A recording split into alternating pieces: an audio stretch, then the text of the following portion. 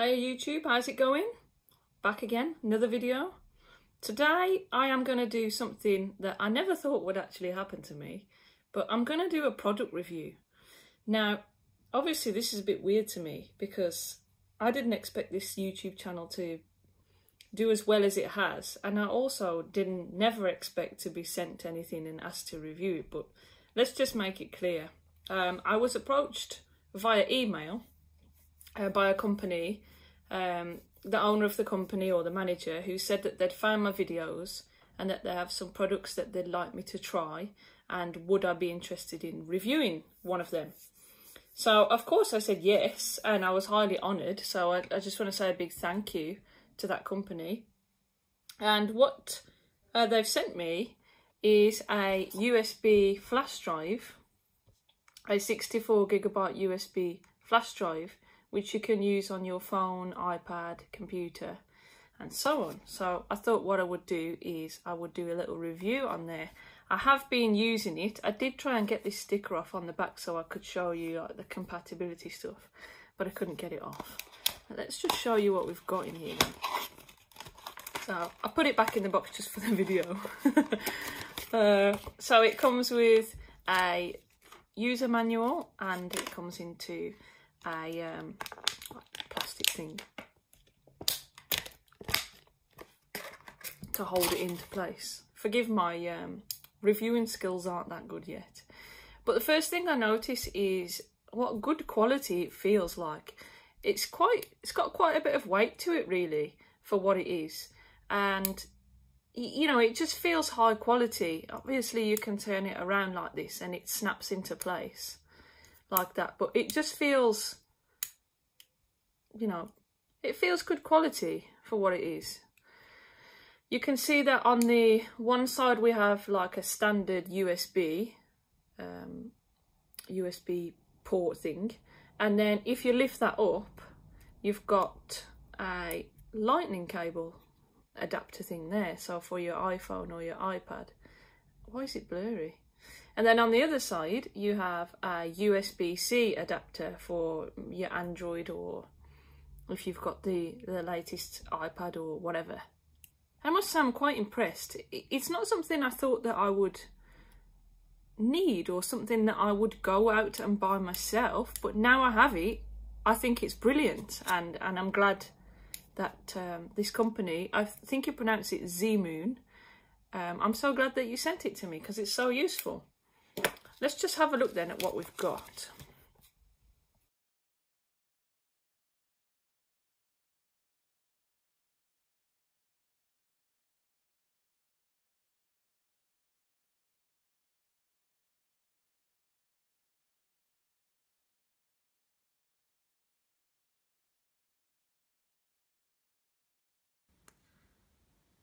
So here is the manual then. For this USB flash drive to work, you have to install the app here, which is free on the App Store.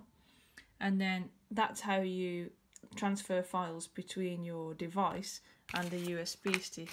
On the other side, it just goes on about managing the files and stuff and frequently asked questions.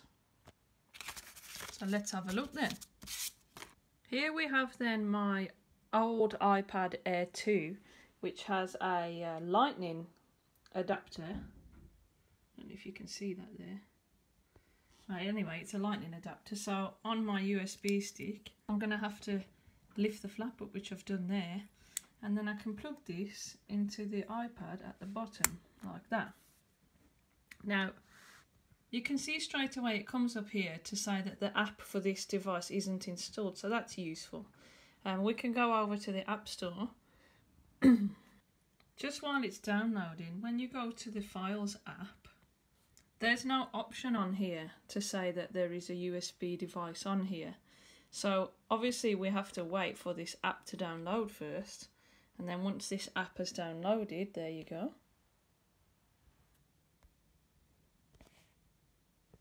Once the app has downloaded, it makes our device easy to use. So of course, you've got it here whether you want it to allow to send notifications. And then you've got some different options on here. So we have that the internal storage is 1.8 gigabytes and the external storage on the USB stick is 58.2 gigabytes. And you can browse here the files on your flash drive or on your iPad. Now, obviously, I don't use this iPad as often, uh, actually, because the storage isn't that good. If I chose a video here, Hello. this is one from one of my early videos, but you can see I've got an option to play the video if I want to, or um, I can I can actually copy it to the device and I do it by clicking on multi-select and then clicking on the video and then down here I have an option of copy to and then I can copy it to the external storage at the top um, and if I click on paste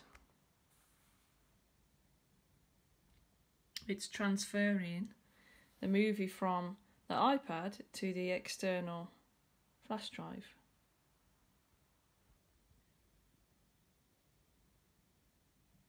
You can exit the app um, and then go back to it and it still copies. This video I've chosen is actually 34 minutes long. So considering that's a 34 minute video, that's transferring quite quickly. And considering you can exit the app and browse on your iPad, I'd say that was pretty cool. It also does say on the box here that it is compatible for music, video, photo, contacts, and you can also use it with a password and with Touch ID. On the back there you can see the devices it's compatible with and also the file formats. Like I say, that sticker wouldn't come off there. But you can see it's compatible with most things anyway. We're just nearing the end then of this being transferred and you can see there it's transfer completed now if I go at the bottom onto the flash drive I can see the file there is on the actual flash drive now. So I, you can see there it's 2.57 gigabytes. Um, that's quite a big file really. And you can see down here 34 minutes long. So that transferred pretty quickly, only a couple of minutes. I have just connected the USB flash drive to my iPad, my other iPad. This is an iPad Pro 11 inch, it's one of the recent ones. Um, I believe it's the 2019 model. Um, and as you can see, it's not recognising the flash drive here. And I've tried unplugging it and plugging it back in a few times. But it doesn't seem to be recognising it for some reason. I don't know why. I've also tried restarting the iPad, but that doesn't seem to help either. Um, which is a shame, really. It doesn't say, though, on the back that it is compatible with this kind of iPad. So this is an iPad Pro 11 inch. It just says here iPad Pro and Pro 2. So maybe it's not compatible with this particular model yet. That is something to bear in mind then if you do have a recent iPad or iPhone, just make sure that it's compatible uh, before you buy. If I plug this lovely device into my Mac, this is a MacBook Pro from around 2015. It's actually the MacBook that has that issue with the screen. As you can see, the screen is just, it's all like peeling away or something. I don't know. I need to get that fixed. But it's not under warranty, I should say. But you can see on there, on the USB stick, the video that I put on there earlier from the iPad Air 2. And you can see there as well, it was quite a big file. 2.76 gigabytes. If we switch over then to my iPhone instead, again, this is an iPhone 6s Plus. Um, so I've using the lightning port this end again. So I had to lift that up to get to it. Um, and you can see on here that there is no option without the app installed. So let's just go ahead and install that app.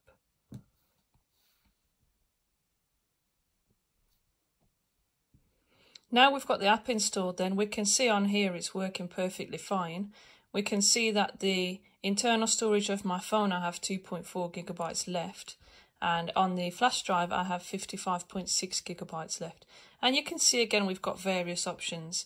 In the settings here if we go on app encryption you can choose there whether you want to start touch ID or set a password for the app but that's not something that I'm going to do um, if I go to photos and I go, oh no, it wasn't photos. If I go to videos even, I can see the video on there again that I transferred from my other iPad.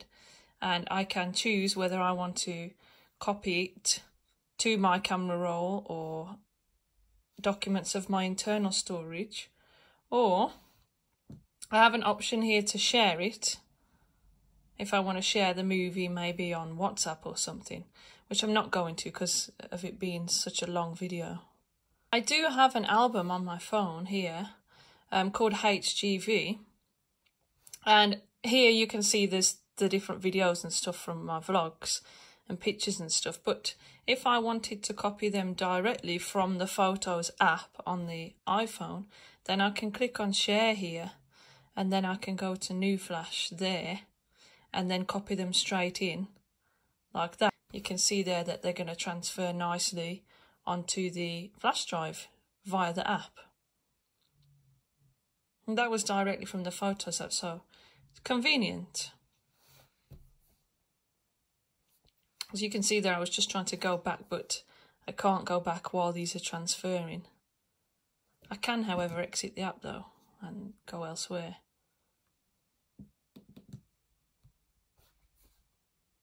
Now, when I film my videos on my phone and iPad, I usually just use Apple's AirDrop to send the files to and from my phone to my Mac. But if I had a Windows PC, then obviously there isn't any airdrop or any feature like that that I'm aware of that I could get the videos and things from my phone or my iPad to my laptop because I do my editing on my Mac. So I could see this product being very, very useful if you're trying to transfer files from Apple devices to Windows devices and maybe vice versa because it's so easy and you don't get that issue of the Wi-Fi being down as well. Like if your Wi-Fi or your Bluetooth isn't working, then you can't transfer the files using AirDrop, but you can with this. We can see now that they're all completed. You can see if I go back here that the picture has gone in the photos section, but then the other ones have gone in the files section. Not that that matters to me. I'm not bothered. But you can have an option as well of actually taking a photo directly um, using the USB stick so it saves directly on here. So if you wanted to perhaps film a long video or something, um, then you could film it so it saves straight to the USB stick, which is very, very useful. You can do that with video as well. You can do that with video as well by changing it there at the top. And you can film a video that saves straight to the actual um, USB device.